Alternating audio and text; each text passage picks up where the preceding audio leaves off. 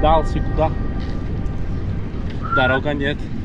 Ну есть Так, так что, покушать. так что, покушать. покушать? Да, у вас есть покушать. Банан, вода не хватает вас. Здесь горы много. Гори. Гора, вот этот гора много. Гора много. Что обозначает гора по-английски, я не знаю. En fait, il essaie de me prévenir d'un truc, mais je comprends pas. Je pense que voilà, il me voit tout seul là, sans à bouffer. Il s'inquiète. Oh. Just speak French. Można.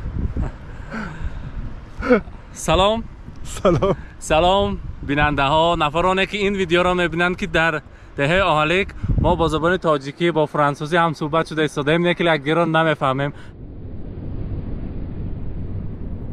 Voici l'histoire que je veux vous raconter. Celle d'un pays l'Ouzbékistan, et d'un peuple, les Ouzbeks. Hospitalité, amitié et bienveillance sont les maîtres mots qui les caractérisent. J'ai voulu comprendre pourquoi ce peuple ne fuit pas les montagnes pour s'installer en ville. L'Ouzbékistan est un des rares pays à ne pas subir l'exode rural. Quelles sont les véritables motivations des Ouzbeks? Je suis Cédric Tassan, aventurier à vélo, et je vous emmène dans une traversée épique des montagnes de l'Ouzbékistan, depuis Samarcande jusqu'aux abords de la frontière afghane. C'est parti.